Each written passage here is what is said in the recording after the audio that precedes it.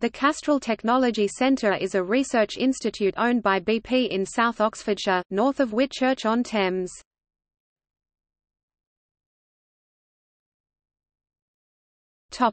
History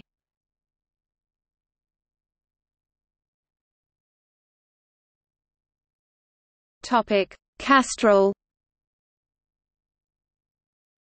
Castrol was founded by C. C. Wakefield in 1899, making lubricants Wakefield lubricator for railways.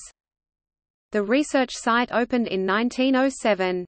The site was purchased by Castrol in 1976.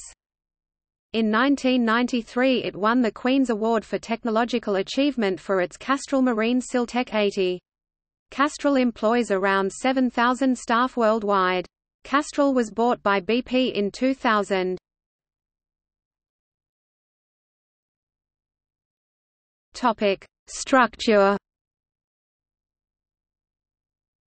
The site is around three-quarters of a mile north of the River Thames, east of the B471, accessed from the A4074 at Woodcote.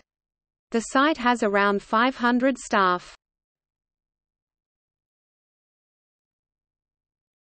Topic: Function. Castrol has 12 research sites around the world. The site at Pangbourne is the largest of the 12 sites. Research is done on rheology and the viscosity of engine oil.